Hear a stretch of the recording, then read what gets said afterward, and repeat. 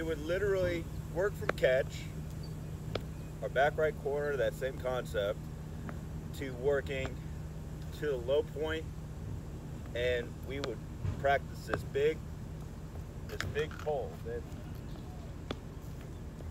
big pull.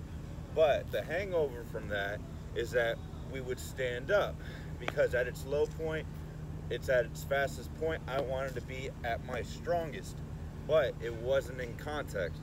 I was standing up, we were all standing up, and then it created the stiffness. So when the ball got propelled out left, and we would be standing up, ball would go out left, and then I would we would fall to our catch.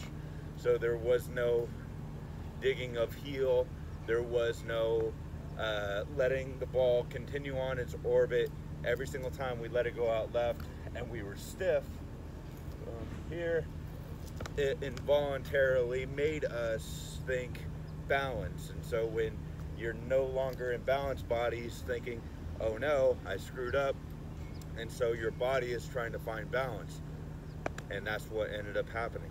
Instead of allowing it to continue out left, out left here, being able to dig that heel into the ground here and staying grounded, we were here working over and then and then falling.